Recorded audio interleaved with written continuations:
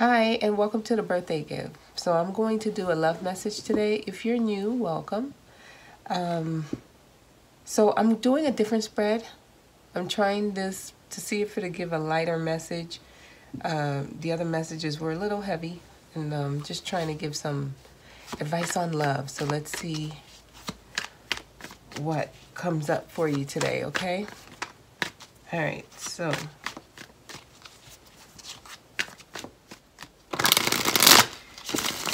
Okay, so this message is going to be for Gemini, Sun, Moon, and Rising. And since I can be picking up on the energy of the person you're dealing with, feel free to reverse the roles if you're cross-watching, okay?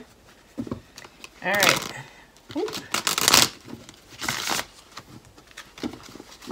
All right, so let's get started.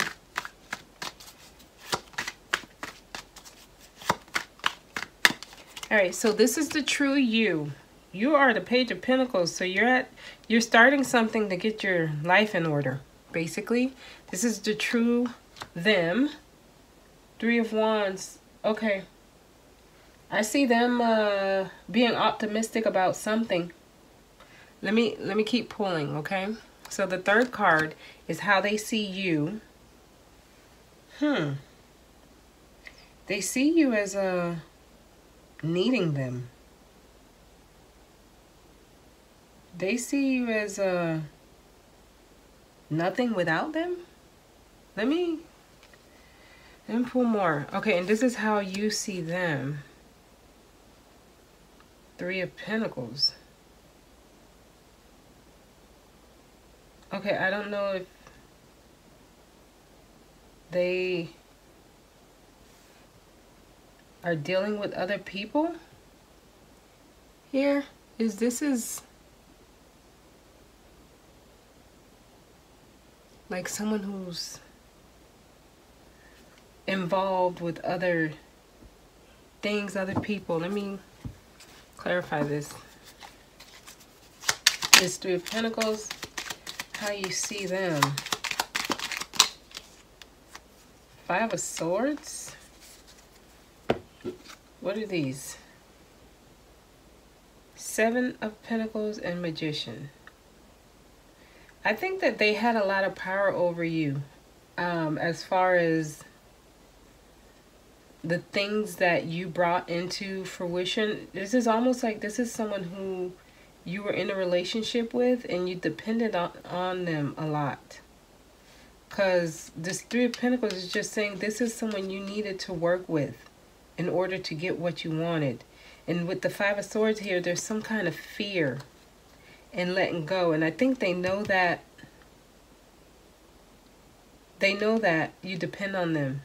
There's some kind of codependency or dependency because for you to see them as the magician and the seven of pentacles is just saying that this is someone who you invested a lot into and it's almost like everything that you invested or everything that comes into fruition rather, is um, attached to this person. But to see you as a Page of Pentacles lets me know that you have some kind of spark to start things on your own here. Gemini. Hmm. This person could have had a lot of control over you, but they they're looking outwards. Let me see what else comes up here. So the fifth card is going to be the relationship past. The next three cards will be the relationship past, the relationship present, and the relationship future. Mm. Okay, conflict. This is the third five that come came out. We have the five of pentacles here, five of swords, and now the five of wands. So there's been some conflict in this relationship. That's the past though.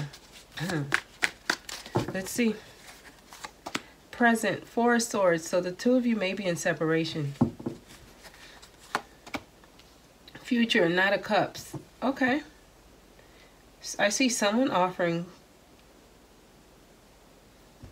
love, emotional support here.